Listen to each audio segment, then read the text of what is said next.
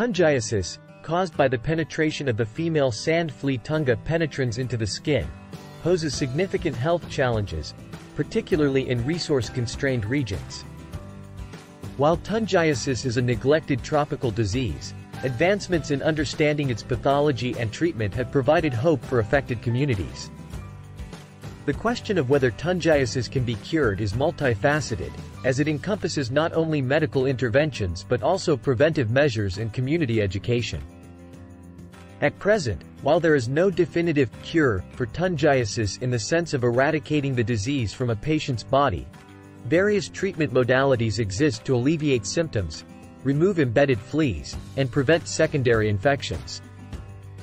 Traditional methods such as manually extracting the embedded fleas with sterile instruments remain crucial, providing immediate relief from pain and discomfort. Additionally, topical treatments, including the application of dimethicone or benzyl benzoate, have shown efficacy in killing the fleas and promoting healing of the lesions. However, these treatments may require repeated applications due to the flea's life cycle and the possibility of reinfestation. Furthermore, in severe cases where secondary infections or complications arise, such as cellulitis or gangrene, systemic antibiotics or surgical intervention may be necessary. Beyond treatment, preventive measures play a vital role in controlling Tungiasis transmission.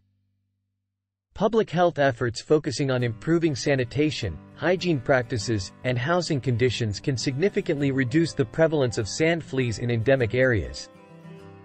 Educating communities about the importance of wearing protective footwear and maintaining clean living environments can further mitigate the risk of Tungiasis infestation. Moreover, research into vaccines or alternative control strategies holds promise for long-term management of the disease.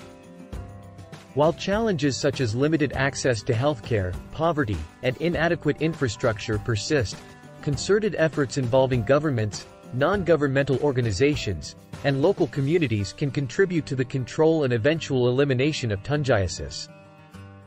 In conclusion, while a definitive cure for Tungiasis remains elusive, ongoing advancements in treatment modalities, preventive measures, and community engagement offer hope for improving the health and well-being of individuals affected by this neglected tropical disease.